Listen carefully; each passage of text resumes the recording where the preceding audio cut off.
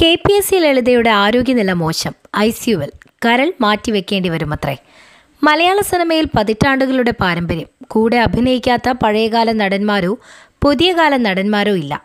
ഏത് കഥാപാത്രവും അനായാസം ചെയ്തു തീർക്കുന്ന മലയാളികളുടെ പ്രിയപ്പെട്ട ലളിത ചേച്ചി ഇന്ന് ഗുരുതരാവസ്ഥയിൽ ആശുപത്രിയിലാണ്. ലഭിക്കുന്ന വിവരങ്ങൾ അനുസരിച്ച് അടിയന്തര കരൾമാറ്റ ശസ്ത്രക്രിയ നടത്തേണ്ടതായി വരുമത്രേ. കൊച്ചിയിലെ സ്വകാര്യ ആശുപത്രിയിലാണ് നിലവിൽ കെ പി എസ് സി ലളിതാമ്മയുള്ളത്. പത്ത് ദിവസങ്ങൾക്ക് മുൻപാണ് നടിയെ തൃശൂരെ ആശുപത്രിയിൽ പ്രവേശിപ്പിച്ചത്. കൂടുതൽ മെച്ചപ്പെട്ട ചികിത്സയ്ക്കായി കഴിഞ്ഞ ദിവസം എറണാകുളത്തേക്ക് മാറ്റുകയായിരുന്നു. ആരോഗ്യനിലയിൽ നേരിയ പുരോഗതിയുണ്ട്. എന്നാൽ കരൾ മാറ്റിവെക്കേണ്ടി വരുമെന്നാണ് ആശുപത്രിയിൽ നിന്ന് ലഭിക്കുന്ന വിവരം. പ്രായവും ആരോഗ്യസ്ഥിതിയും പരിഗണിച്ച് അത് സംബന്ധിച്ച് തീരുമാനമുണ്ടാകൂ എന്നാണ് ഡോക്ടർമാരുടെ ബുള്ളറ്റിൻ പറയുന്നത്.